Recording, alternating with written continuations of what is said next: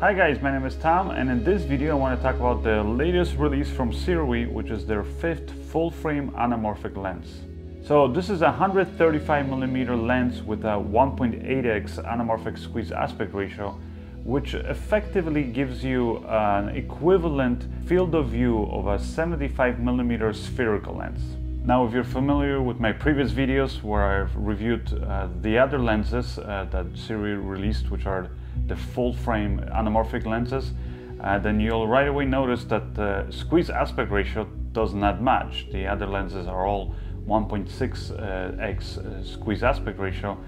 This one's a 1.8x. So why the change in that? Well, uh, according to Sirui, uh, after I contacted them, they said that they were kind of looking to create a lens that has even more uh, anamorphic characteristics. So uh, definitely that oval bokeh and, uh, and really, really shallow depth of field, which this lens uh, definitely delivers. Also having the field of view that's equivalent to a 75 millimeter spherical lens means that this anamorphic lens uh, is a perfect portraiture lens.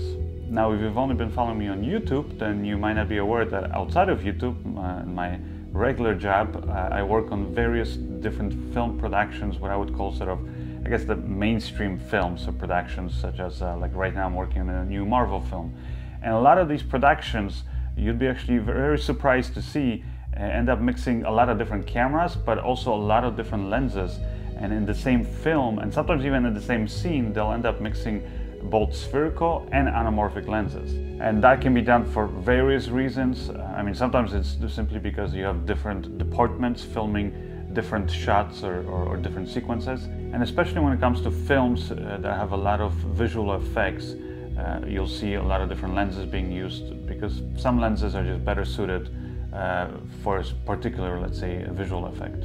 And the reason why I'm saying all this is because I know that a lot of you probably are going to be uh, maybe a little bit worried or just wondering uh, of whether you should be getting this lens, uh, let's say if you already own the other four full frame anamorphic lenses from Sirui, uh, simply considering the fact that this one has a different squeeze aspect ratio. Uh, so I myself actually am uh, planning to do a little short film project uh, where I'm going to use all five of these lenses alongside each other so I can kind of see for myself just how well these lenses kind of play together.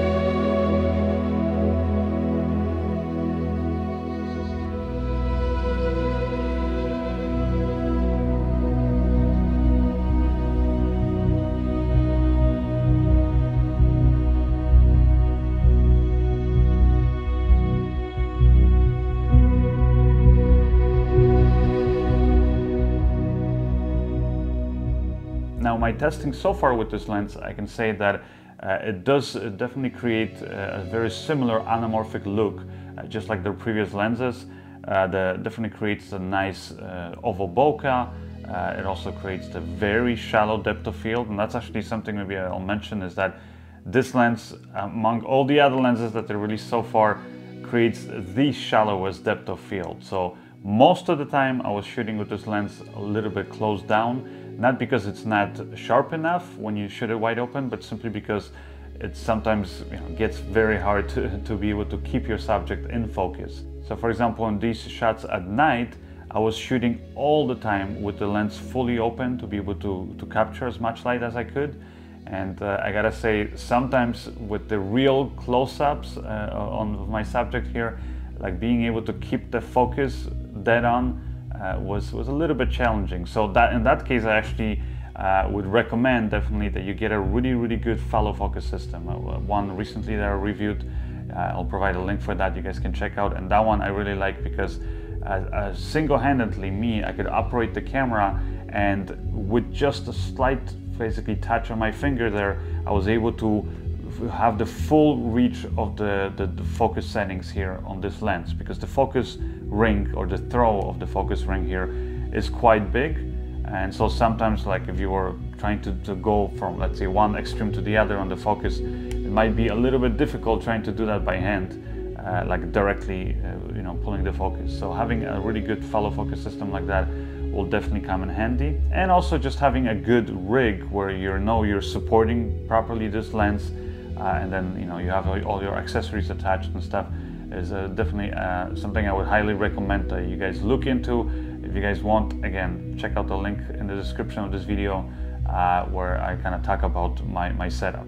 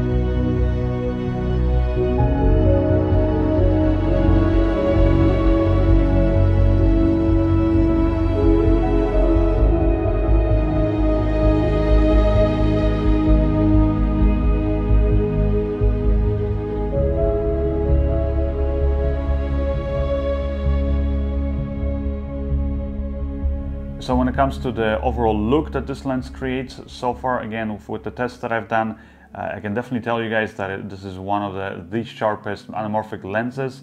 So it matches up very well uh, with the previous anamorphic lenses from Sirui. Uh, but it also gives you a lot of organic sort of anamorphic qualities, uh, such as uh, the, like I said, the really shallow depth of field, the, the oval bokeh. Uh, you can also get the horizontal light streaks if you want it.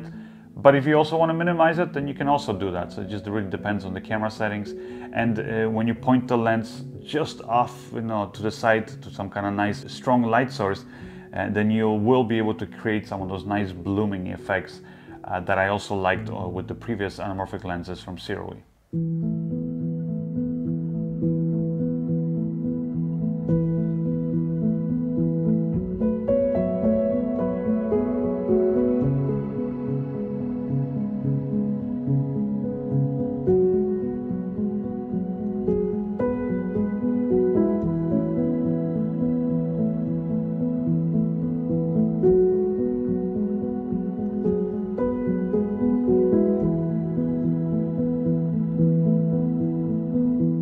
As far as the build quality, this lens is again just as well built as their previous lenses.